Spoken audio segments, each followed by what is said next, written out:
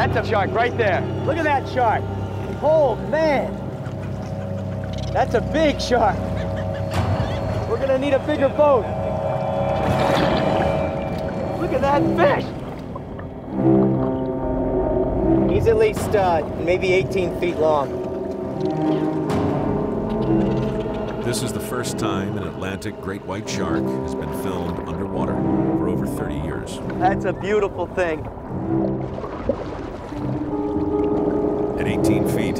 It's also one of the largest ones ever filmed.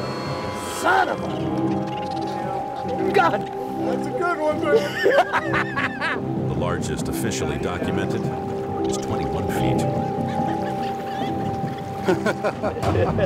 Yeah. He's checking this whale out, and he uh, he's gonna eat something soon.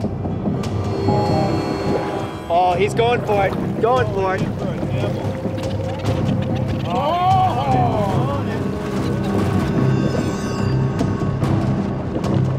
Biting with a force of nearly two tons per square inch, it saws off hunks of flesh the size of trash cans.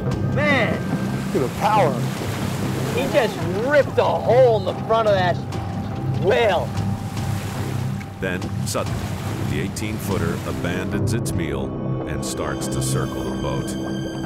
They don't know what it's doing, but it's coming so close, Greg decides to try and tag it. All right, baby, come on. Get him hard. Right where I want it. Right where I want it. Come on, come on! It's the fifth great white to join Greg's study. Like Ruthless and Storm, it now carries a satellite tag. How's that tag look? Good. Is it floating? Yeah, it came right up. This one's set to release in eight months, in April of 2011. It'll be the last of Greg's tags to deploy. He's got a curved dorsal fin. Like a curl curl fin. Curl fin is his nickname. Curly. Curly.